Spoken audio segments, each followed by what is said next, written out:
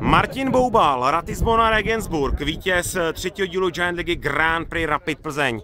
Tak Martine, rozhodnu si v tom posledním eh, dvojnásobně bodovaném eh, kole. Eh, do Plzně si přijel s tím, že dneska vyhraješ?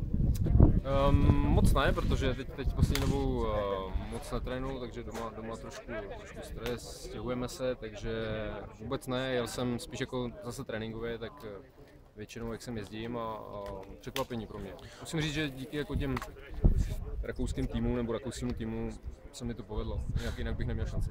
Je fakt, že rakouský tým ke konci závodu zhruba 15 kol nebo 10 kol před cílem přitvrdil, rozjel opravdu peklo a uh, peloton začali odpadat závodníci, ty jsi se držel vepředu a počítal si s tím, že to v tom sportu dáš? No moc ne, protože Zdena, Zdena Mlinář byl hodně rychlý dneska a nebojí se takže trošku, trošku lukovačka a já už na to takhle do sportu nejsem, takže jako moc jsem si, moc jsem se nevěřil, ale, ale ta pozice mi vyšla a ten poslední sport mi zase a, a vyhrál jsem. Takže příští středu opět? Rád bych, když si bude všechno pohodě, tak přijedu rád. Díky za rozhovor.